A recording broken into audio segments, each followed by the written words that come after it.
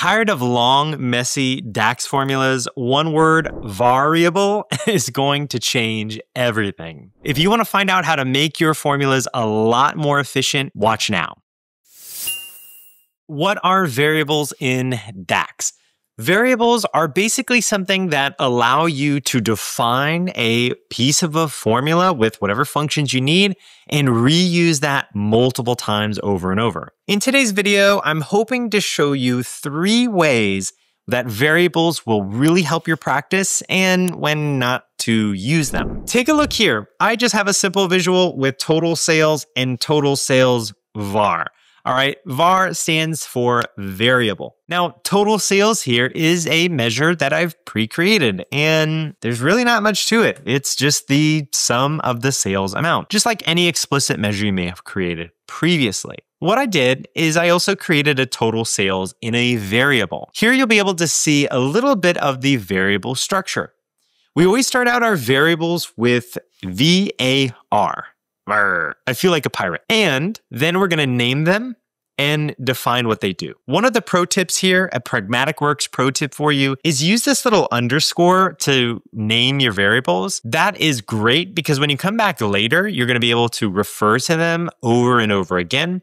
And there's really nothing that's utilizing an underscore, so it's easy to reference them. Here, I said that sales total equals the sum of the sales amount, and then I used return. Every variable that you use is gonna need return. If I don't have return here and I just put sales total, things get a little bit messy because we need to tell the Power BI engine here that it is done and we want to now return something. I don't have to use total sales. I could have a ton of other stuff.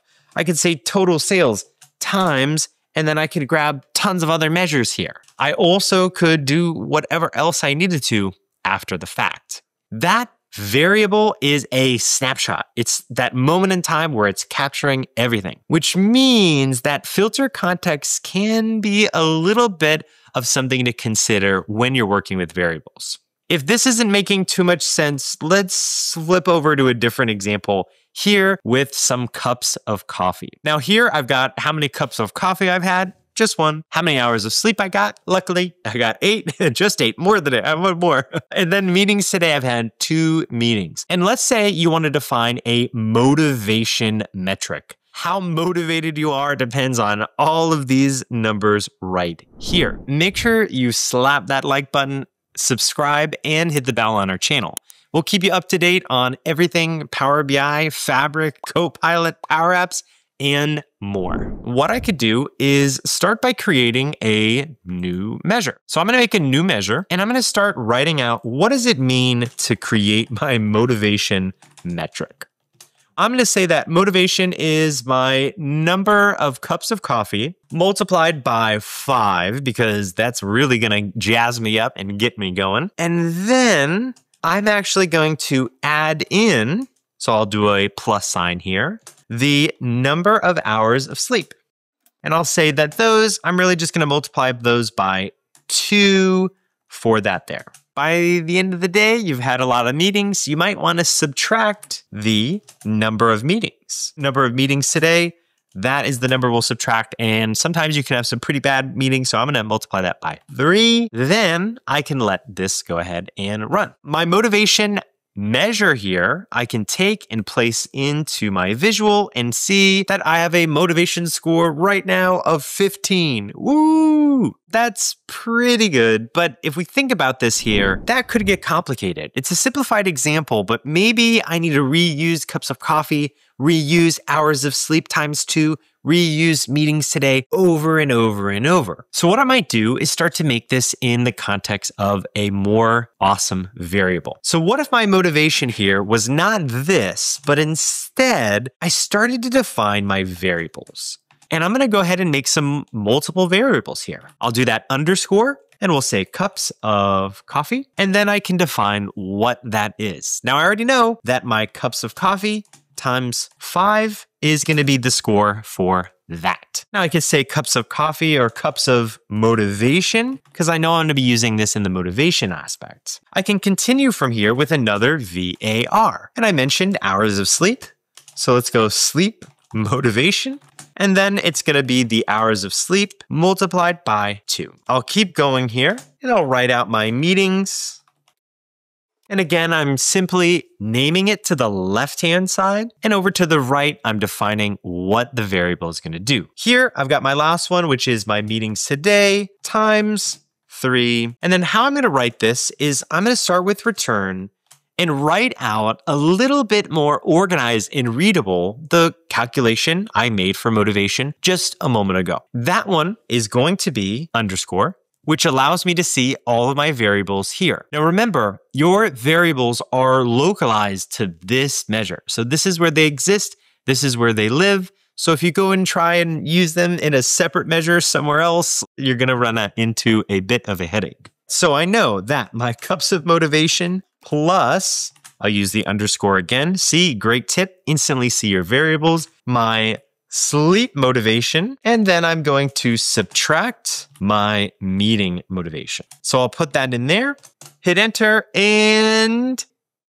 hey, we did it. That is absolutely awesome. So let's say you're in the middle of making some really complicated DAX and you're wondering, ah, I know that this calculation might be right, but I'm not sure if the individual parts are doing what they're supposed to. For that reason, what I can do is simply just return one thing at a time. Cups of motivation, well, let's return that and double check that that is actually calculating properly. Cups of motivation here should be one cup of coffee. All right, motivation over here so one times five. All right. So it looks like our cups of coffee, one times five, is the right score here. So we know if that's five, what about hours of sleep times two? We can add on here and continue to debug. So I'm going to add in my sleep motivation, which should be 5 plus 16 in this case, since I had eight hours. We're looking for the number 21. Let's do a little validation here and we're set. So this is gonna be a great way to allow you to just debug pieces of this as you're going through it. Once you have that all set up, it's gonna be not only more readable, but allow you to debug what's going on. I wanna flip over to my next page here, which is use question mark. Let's look at a instance where performance might come into play. So you might end up with something kind of like this. I'm actually going to bring this over. This is called percentage correct. So I'm going to bring that in. In this case here, we have a divide. We're dividing to get a percentage. Sum X, we're iterating across our fact internet sales table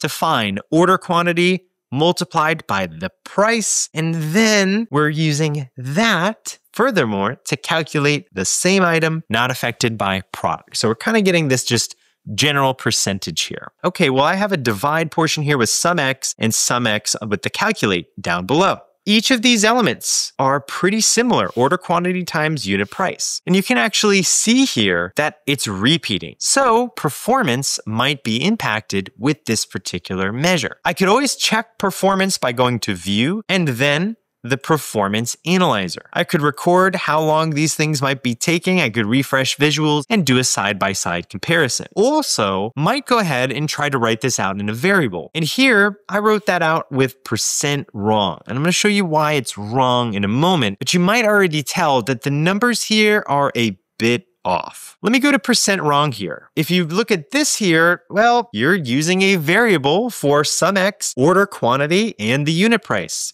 Makes sense, right? I'd reuse that variable in the next calculation. And simply, I'm doing basically what was in the other measure that was a lot more elongated. I'm dividing sales amount to the sales amount sans dim product. Now, this is where filter context enters the conversation. So you might notice here in our visuals, we've got percent correct and percent correct wrong. Think of it like you have a piece of cake.